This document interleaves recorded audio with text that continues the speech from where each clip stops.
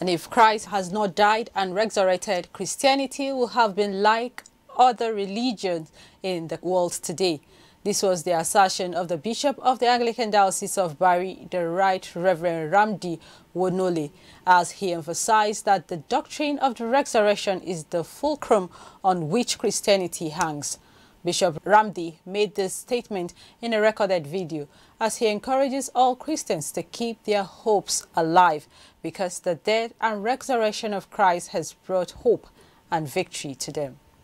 The doctrine of the resurrection is the fulcrum on which Christianity hangs. No wonder the devil has inspired so many people to propound theories in order to discredit the doctrine of resurrection.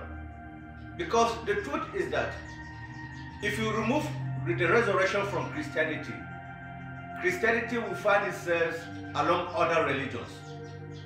Because if you look at all the other religions, especially the monotheistic religions, their founders were born, they lived, they died, and were buried. Until today, their bones are still in their graves. But when you look at Christianity, the founder of Christianity, Jesus Christ himself, he also came, he died, he was buried, but the tomb is empty. Just like Paul said in 1 Corinthians 15, he says, if Christ has not been raised from the dead, then our faith is futile. Our preaching is useless. We have nothing to hold on to. Our hope is also has no basis. But we thank God because Christ is risen. And we serve a God that is alive. I want to assure every Christian to keep hope alive because we know that what we are passing through is for a short moment.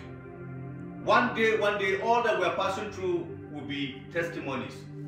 Because God is going to see us through. God has plans for Nigeria and He's going to take us to higher heights.